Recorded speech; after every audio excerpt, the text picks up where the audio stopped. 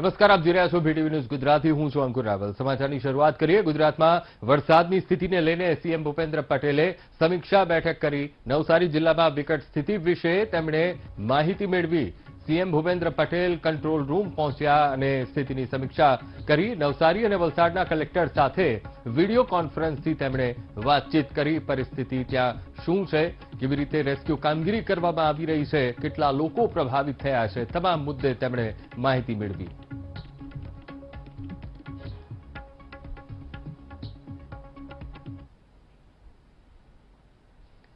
તો આજ મુદ્દે સંવાદદાતા રાજેન્દ્રસિંહ પરમાર ફોન લાઈન પર જોડાઈ ગયા છે. રાજેન્દ્રસિંહ, એક તરફ ભારે વરસાદ, જેને પગલે CM Bhupendra Patel control room પહોંચ્યા. સમીક્ષા કરી. શું વિગતો?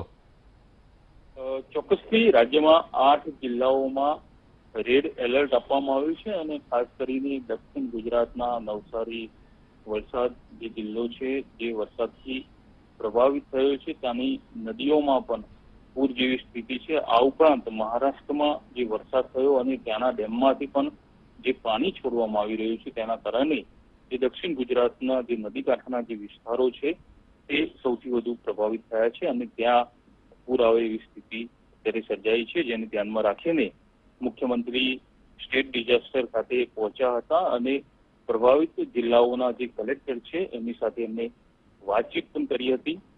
આ ઉપરાંત આગામી સમયમાં જે મહારાષ્ટ્રમાં જે વરસાદ થઈ રહ્યો છે અને ગુજરાતમાં પણ જે વરસાદ થઈ રહ્યો છે અને એના કારણે જે વિસ્તારો પ્રભાવિત થવાના છે, તો ત્યાંથી લોકોને માઇગ્રેટ કરી અને સલામત સ્થળે પહોંચાડવા માટેની પણ એમને સમીક્ષા કરી હતી.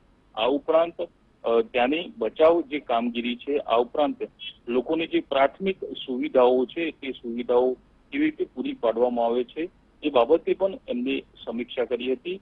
આ સમીક્ષા બેઠકમાં રાજ્યના મુખ્ય સચિવ, સાથે સાથે રોડ એન્ડ બિલ્ડિંગ, ઊર્જા વિભાગ એનડીઆરએફ સહિતના જે ડિઝાસ્ટરને લગતા જે વિભાગો છે, તેમના ઉચ્ચ અધિકારીઓ પણ આ બેઠકમાં હાજર રહ્યા હતા. જી. જી, બિલકુલ રાજેન્દ્રસિંહ, સમગ્ર માહિતી સાથે જોડાવા બદલ આપનો આભાર.